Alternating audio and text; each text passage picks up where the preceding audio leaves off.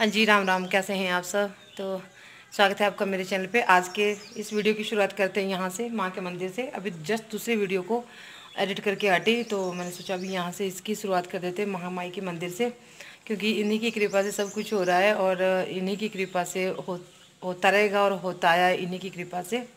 तो एक छोटी सी भेंट इनके चरणों में। हो कांगड़े दा किला मैया गढ़वा सिंगे घेरिया। अकबरे कांगड़े चढ़िया ओ मेरी माँ। कांगड़े दा टिल्ला मैया गढ़वा सिंगे घेरिया। अकबरे कांगड़े चढ़िया ओ मेरी माँ।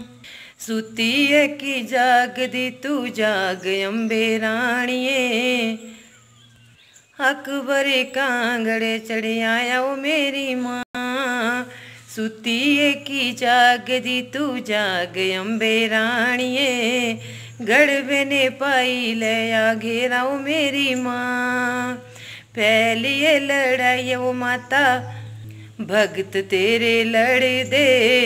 लौआ दे, बगी जांदे, ढेर मेरी माँ। ओ फैलिए लड़ाई वो माता, भगत तेरे लड़ दे। ਲਉਆਂ ਦੇ ਲੱਗੀ ਜਾਂਦੇ ਨਾਲ ਮੇਰੀ ਮਾਂ। ਦੂਜੀ ਲੜਾਈ ਉਹ ਮਾਤਾ ਸ਼ੇਰ ਤੇਰਾ ਲੜਦਾ। ਮੁੰਡਿਆਂ ਦੇ ਲੱਗੀ ਜਾਂਦੇ ਢੇਰ ਮੇਰੀ ਮਾਂ।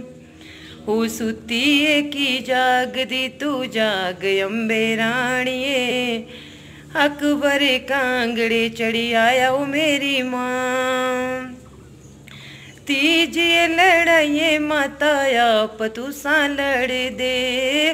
तीजिए लड़ाइए माताया पतूसा लड़ दे। थर थर कंब दी ज़मीन मेरी माँ। सुतिए की सुतिए, तू जाग अम्बे रानिए जय माता दी। चलते हैं वो और फिर मैं आपसे ना ना ना फेरा है।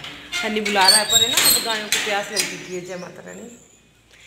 तो अभी कुछ और दिखाती हूँ आपको। तो देखिए, यहाँ पे ये है हनी यहाँ पे ले रहे हैं हम घास, ये भी घास छिन रहा है, और ये माँ का मंदिर है, और नीचे ये टैंक है, बिल्कुल माँ के मंदिर के सामने ये दिखता है, बाँस के पेड़ हैं, यहीं पे बच्चे नहाने आते दिन को, और आपने दूसरे चैनल पे कमेंट किया था किसी ने कि पूरी स्विमिंग की वीडियो बनाना हनी की तो मैं बनाऊँगी खुद जाके ऊपर। तो ये हनी लाया था बना के तो दूसरे चैनल पे भी डाली थी मैंने और यहाँ पे भी डाल रही हूँ मैं। तो ये हनी ही लाया था।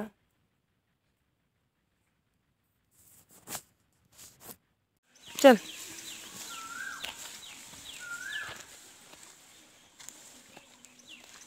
रात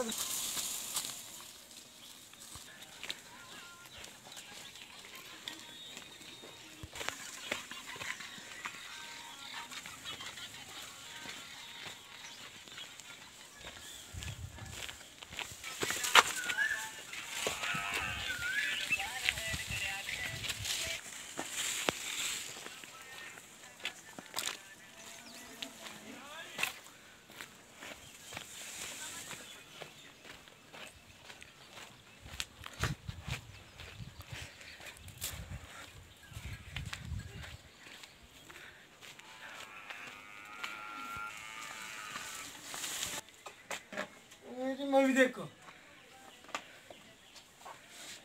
ये मैंने इन छड़ना कर दी। ए तू भाषा भी रहनी चाहिए चल गाँव का रुक जा जा मैं आपको करना है। चल गाँव केटी काट लिया हूँ। तो बोल रहे हो चलेगा कुछ नहीं है मैंने खुद करना। तो अभी हम यहाँ पे आगे घर पे और हरा घास आने चला गया घर में आज।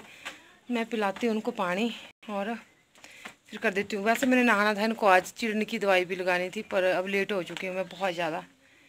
और हमारी तूड़ी दूसरे चैनल पे बताई है मैंने। चलो मैं कर लेती हूँ काम ना, फिर मैं घर में मिलती हूँ आपसे, है ना? तो चलिए शुरू करते हैं आज। ये जो मैंने उड़द, जो बोलते हैं ना, उड़द दाल के माँ छिड़का दली हुई दाल होती है, उसको मैंने भिगो दिया था। रात को फिर मैंने उसको धो के पीस लिया था। और मशीन में मशीन में पीस लिया था। वो इट्टी पीसने की जो मशीन होती है ये मैंने इसलिए नहीं बताया थोड़ा सा प्रोसेस क्योंकि मैं दूसरे चैनल पे बहुत पहले डाल चुकी हूँ इस वीडियो को और बहुत ज़्यादा वायरल भी हुई थी। तो मैंने सोचा शायद आप लोगों ने देखी होगी, पर आज फिर मैंने बनाते हुए दिखाया आज मैं गैस के ऊपर बनाऊँगी।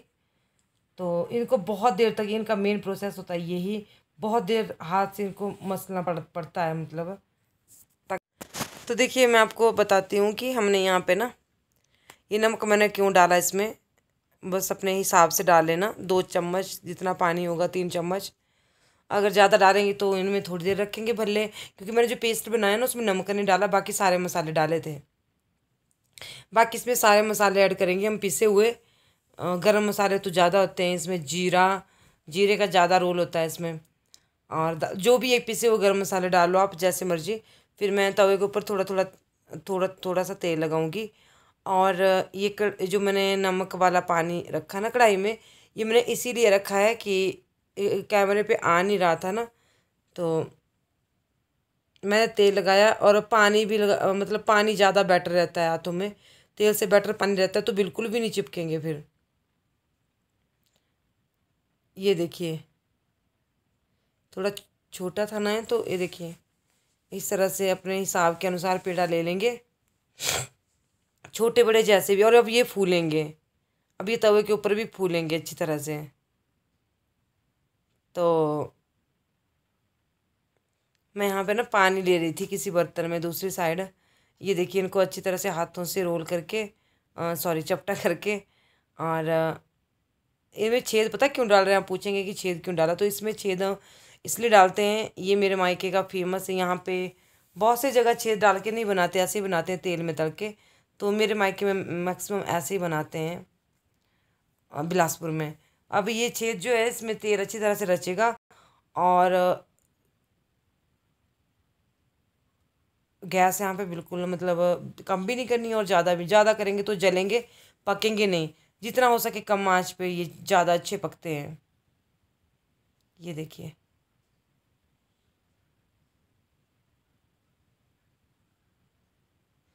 दो तीन बताऊँगी मैं आपको यहाँ पे।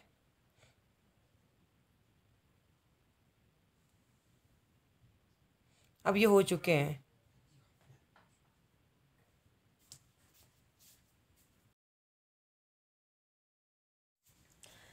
तो फिर मुझे छींक आ गई थी तो मैंने बीच में रोक दिया था इसको थोड़ा सा। इतनी धूप है ना यहाँ पे एडिटिंग कर रही हूँ, मेरे पसीने से बहुत बुरे हाल है। गेहूँ का सारा वो तूड़ी बैठ गई है गले में। तो ये देखिए फिर उनको पलट के भी तेल लगाना और इस, इसमें डाल के तीनों दोनों साइड से काफ़ी देर तक इनको पकाने के बाद अब ये पक चुके हैं। तो बस अब इनको हम उठा देंगे। अभी लग रहे हैं ना तेल वाले। तो अब इनको डाल देंगे हम, ये देखिए पानी में। प्लीज़ आप लोग ज़रूर बनाइएगा। और मैं आपको ना खाते हुए भी दिखाऊँगी बाद में। आप देखना ज़रूर। किस तरह से खाते हैं, किस तरह से नहीं। मैं, मुझे इस तरह से ज़्यादा मुझे टेस्टी लगने, लगते हैं ये वाले बहुत अच्छे।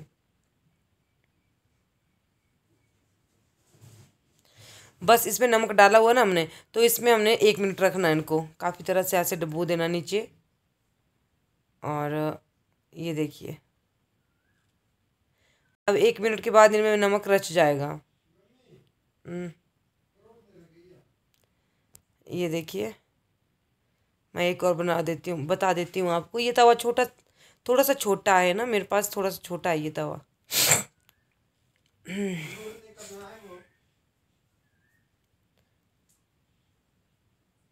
सबसे ज़्यादा पसंद है मुझे, और बस खुशी, जब मन करता है तो हम बना लेते हैं। खुशियाँ तो रोज़ ही होती हैं ना?